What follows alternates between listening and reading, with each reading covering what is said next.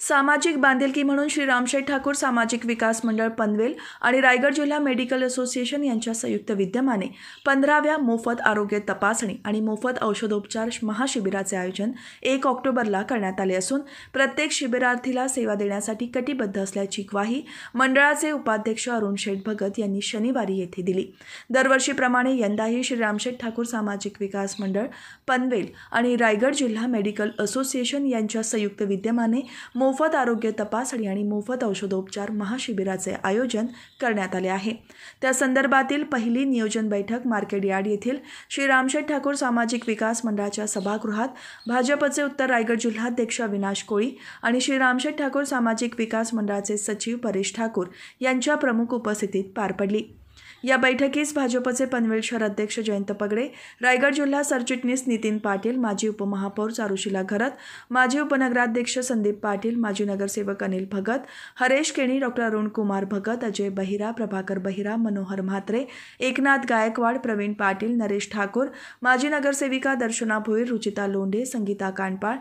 जिल्हा उपाध्यक्ष प्रल्हाद केणी कामोठे अध्यक्ष रवींद्र जोशी माजी जिल्हा परिषद सदस्य ज्ञानेश्वर घरत अमित जाधव महिला मोर्चाच्या तालुकाध्यक्षा रत्नप्रभा घरत ओबीसी सेलचे जिल्हा सरचिटणीस दशरथ म्हात्रे भाजपचे शहर सरचिटणीस अमरीश मोकर युवा मोर्चाचे उत्तर रायगड जिल्हाध्यक्ष मयुरेश नेतकर सांस्कृतिक सेलचे जिल्हाध्यक्ष अभिषेक पटवर्धन कामगार नेते रवी नाईक संजय भगत अनेश ढवळे यांच्यासह पदाधिकारी उपस्थित होते. खांदा कॉलनी येथील सी के टी महाविद्यालयाच्या प्रांगणात होणाऱ्या या महाशिबिरात सर्वसाधारण रोग तपासणी बालरोग तपासणी महिलांचे आजार त्वचा रोग तपासणी हृदयरोग तपासणी दंतरोग तपासणी मधुमेह तपासणी नाक कान घसा तपासणी हाडांचे रोग तपासणी नेत्र तपासणी आणि चष्मे वाटप आयुर्वेद अशा विविध आरोग्य तपासण्यांसह औषधोपचार देण्यात येणार आहेत. दरवर्षी पंधरा हजारांहून अधिक नागरिक या महाशिबिराचा लाभ घेत असतात. त्यामुळे नियोजनात कोणतीही कसर राहू नये यासाठी सर्व गठीत समित्यांनी आपापली जबाबदारी नेहमीप्रमाणे योग्यरित्या पार पाडावी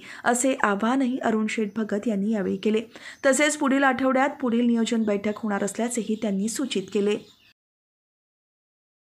पनवेल आणि नवी मुंबईच्या ताज्या घडामोडींसाठी मल्हार टीव्ही न्यूज सबस्क्राईब करा आणि बेल आयकॉन दाबून रहा अपडेट.